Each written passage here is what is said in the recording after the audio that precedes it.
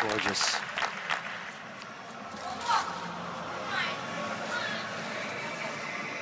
Big element. Round off layout. Ooh, it's a little off on the takeoff.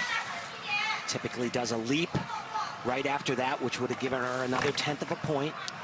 Again, breaks the connection, loses another tenth there of difficulty. Yeah, she was supposed to do four leaps in a row. That was only three. Now another huge tumbling sequence, a front handspring to a front.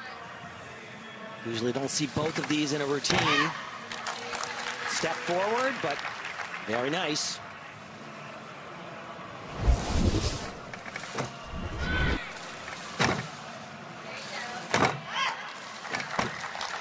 Gorgeous.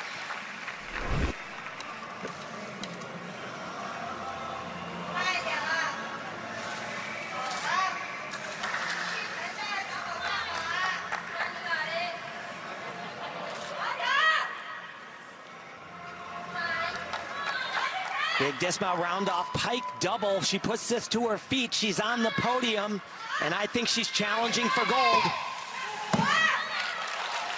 Wow. And by the way, that voice you heard throughout much of that, that was the voice of Simone Biles.